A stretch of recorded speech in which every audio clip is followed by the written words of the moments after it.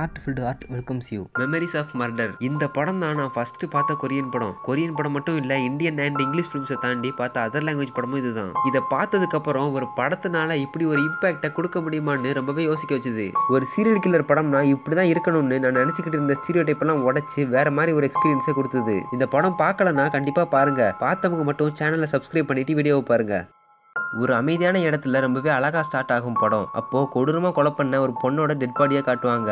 இந்த ஓப்பனிங் சீன்லயே இது அழகான படம் இல்ல full and full dark and வயலண்டான ஃபிலிம்னு நம்மகிட்ட சொல்லிடுறாங்க. இந்த படம் ஸ்ட்ராங்கா நிக்கிறதுக்கு காரணமே கேரக்டர்ஸ் தான். அதுல ஒரு முக்கியமான கேரக்டர் பார்க் டூமன் இந்த கேரக்டர் மட்டும் இல்லாம இதுல வர்ற போலீஸ் எல்லாரையும் காமெடி பீஸா தான் காட்டியிருப்பாங்க. ஆரம்பத்துல அவங்க பண்ற ஆக்ஷன்ஸ் எல்லாம் பார்க்க நமக்கு சிரிப்பு தான் வரும். பட் பாங் ஜூன் ஹோ இதை ஒரு காமெடி ஃபிலிம் மாதிரி போக விடாம கரெக்டா பேலன்ஸ் பண்ணி கொஞ்ச நேரத்திலேயே அந்த இன்டென்ஸான சுச்சுவேஷனை புரிய வச்சு அந்த மைண்ட் செட்டுக்குள்ள கொண்டு போயிருவாரு. இதுல வர்ற போலீஸ் எல்லாருமே லூசுத்தனமா இருக்கிற மாதிரி தான் தெரியும். அவங்க யாரும் கொலகாரனை கண்டுபிடிக்கணும்னு நினைக்க மாட்டாங்க. அதுக்கு பதிலா கேஸை க்ளோஸ் பண்ணிட்டு மீடியாக்கு என்ன ரிப்போர்ட் கொடுக்கலாம்னு யோசிப்பாங்க. அந்த கிரைம் சீனை கூட சேஃபா வச்சுக்காம சின்ன பசங்களை வந்து எவிடன்ஸை வச்சு விளையாட விட்டுட்டு இருப்பாங்க. இது மட்டும் இல்லாம ஒரு மென்டலி ரிட்டையர்டு பையனை பிடிச்சிட்டு வந்து டார்ச்சர் பண்ணி கொலை ஒத்துக்க சொல்லுவாங்க. இந்த இடத்துல சோ யங் கூனு இன்னொரு கேரக்டர் வரும். இது ரொம்பவே கிறுக்குத்தனமான கேரக்டர் மூளையே இல்லாம பாக்குறவன்லாம் போட்டு அடிப்பான். இந்த மாதிரி கேரக்டருங்கெல்லாம் ஒன்று சேர்ந்து ஒரு மென்டலை பிடிச்சி கொலகாரன்னு சொல்லி ஃபேக் ப்ரூஃப் எல்லாம் ரெடி பண்ணிட்டு மீடியா முன்னாடி ஸ்டேஜ் பண்றதுக்காக போவாங்க. பட் அந்த பையன் இவங்க பிளான் பண்ணது எல்லாத்தையும் டோட்டலா ஸ்பாயில் பண்ணிடுவான் இந்த டைம்ல சியோல்னு ஒரு இடத்துல இருந்து சியோட்டே ஊன்னு ஒரு டிடெக்டிவ் வருவான். அவன் இன்ட்ரோவே செம காமெடியா இருக்கும். இந்த மாதிரி பறந்து போய் அடிக்கிறத பத்தி பாங் ஜூன் ஹோக்கு எந்த ஐடியாவும் இல்ல. இதுல நடிச்ச சாங் கேங் ஹோ தான் இப்படி பண்ண கேரக்டரோட முட்டாள்தனமா எக்ஸ்பிரஸ் ஆகும் அட் த சேம் டைம் காமெடியாவும் இருக்கும்னு சொல்லியிருக்காரு. ஸோ இது கரெக்டா தான் இருக்குன்னு சொல்லி படத்துல வச்சுட்டாங்க. அது மட்டும் இல்லாம இந்த ஒரு சீன்லயே அந்த பார்க் கேரக்டரோட பாயிண்ட் ஆஃப் வியூ டோட்டலி தப்பா தான் இருக்குன்னு நமக்கு புரிய வச்சிடுறாங்க.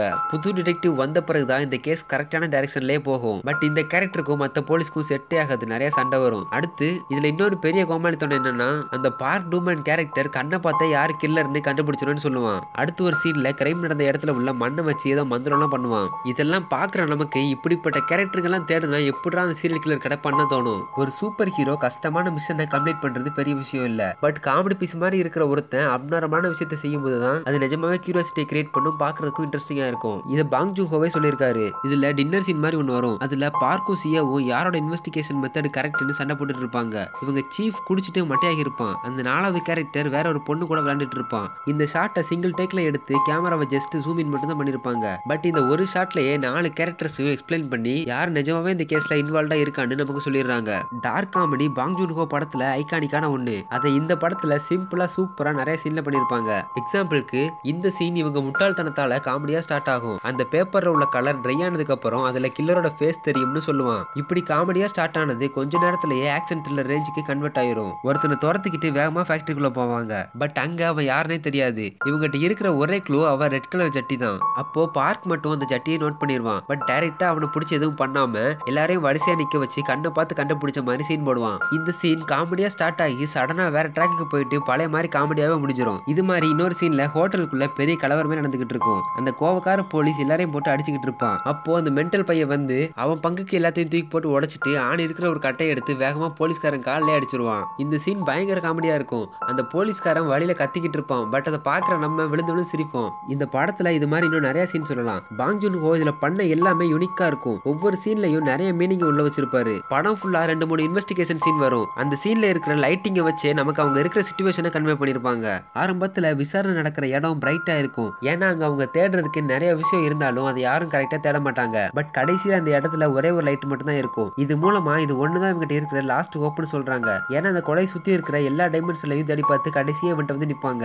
பட் அதுவும் ஒண்ணும் இல்லாம போக போகுதுன்னு சொல்ற மாதிரி அந்த சீன் முடியும் போது அங்க இருந்த ஒரே ஒரு லைட்டும் உடஞ்சு போயிடும் இந்த மாதிரி ஒவ்வொரு சீனையும் மல்டி லேயர்டா நிறைய மீனிங் உள்ள வச்சு எடுத்திருப்பாரு. இது இவரோட செகண்ட் படம்னு நம்பவே முடியல. செகண்ட் படத்தையே மாஸ்டர் பீஸா எடுக்கிற அளவுக்கு எபிலிட்டி இருக்கிற இவர் இப்போ எடுத்த பேரசைட்லாம் ஒண்ணுமே இல்லாத மாதிரி தான் தெரியுது. இந்த படத்துல சீரியல் கில்லர் கான்செப்டை ஜஸ்ட் ஒரு பேஸ்மெண்டா மட்டும் வச்சுட்டு இது மூலம் பாங் ஜூன் ஹோ காட்டணும்னு நினைச்சது கொரியன் கவர்மெண்ட்டோட டிக்டேட்டர்ஷிப் தான். அந்த காலகட்டத்தில் போலீஸ் நினச்சா யாருனாலும் அடிக்கலாம் யாருனாலும் கொல்லலாம். இது நம்ம படத்திலே பார்க்க முடியும். இது மட்டும் இல்லாமல் அப்போ குவாஞ்சூன் ஒரு இடத்துல பெரிய சிவில் வாரம் நடந்துட்டு இருந்துச்சு. அதில் ரெண்டாயிரத்துக்கும் மேலே சிவிலியன்ஸை கொலை பண்ணியிருக்காங்க நிறைய பேரை ரேப் பண்ணியிருக்காங்க. இதில் கொடுமையான விஷயம் என்னன்னா இதை பண்ணதே கவர்மெண்ட் ஆஃபீஸர்ஸ் தான். இது வேற ஒரு பெரிய டாபிக் இதை பற்றி டாக்ஸி டிரைவர்னு ஒரு படமே எடுத்திருக்காங்க. டைம் இருந்தால் பாருங்க செம்மையாக இருக்கும். சரி இப்போ இந்த படத்தில் கதைக்கு சம்மந்தமே இல்லாமல் ஒரு சீன் வருதுன்னு தோணுச்சுன்னா அந்த சீன் கதைக்கு வேணால் தேவையில்லாமல் இருக்கலாம். பட் இந்த ஹிஸ்டரியை சிம்பாலிக்காக ரெப்ரசென்ட் பண்ணுறதுக்கு தேவையான ஒன்றா இருக்கும். மெமரிஸ் ஆஃப் மர்டருங்கிற டைட்டில் அந்த கில்லர் பண்ண மர்டரோட மெமரிஸ் மட்டும் இல்லாமல் கவர்மெண்ட் பண்ண மர்டரோட மெமரிஸையும் சேர்த்து தான் மென்ஷன் பண்ணுது.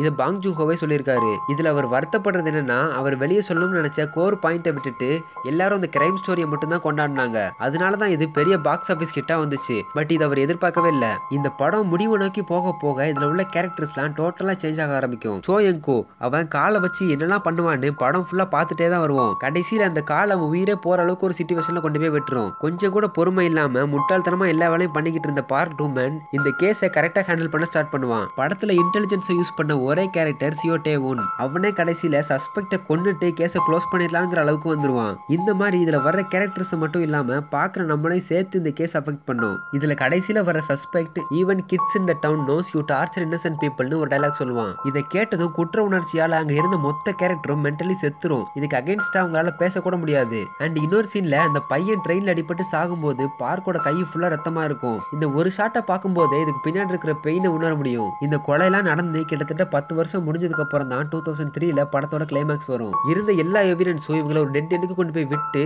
வாழ்க்கையில மறக்கவே முடியாத அளவுக்கு ஒரு இம்பாக்டை கொடுத்த கேஸ் ஆரம்பிச்ச இடத்த வந்து ரீவிசிட் பண்ணுவான். அந்த இடத்துல மரண்டரோட மெமரிஸ் மட்டும்தான் இருக்கும் வேற எதுவும் இருக்காது. அப்போ ஒரு சின்ன பொண்ணு வந்து என்ன பண்றீங்கன்னு கேட்பா இவன் இந்த இடத்துல ரொம்ப நாளைக்கு முன்னாடி ஒரு வேலை செஞ்சேன்னு சொல்லுவான். அதுக்கு அந்த பொண்ணு கொஞ்ச நாளைக்கு முன்னாடி இதே மாதிரி இங்க ஒருத்தன் வந்து இதே பதில் தான் சொன்னான்னு சொல்லுவான். இதை கேட்டதும் அவன் கில்லரா இருப்பானோன்னு அந்த கேரக்டருக்கு மட்டும் இல்லாம பாக்குற எல்லாருக்கும் ஸ்ட்ரைக் ஆகும். நமக்கு யோசிக்க டைம் கொடுக்குற மாதிரி ஒரு வைட் ஆங்கிள் வச்சு அப்படியே அந்த சீனை சைலண்ட்டுக்குள்ள கொண்டு போயிருப்பாங்க.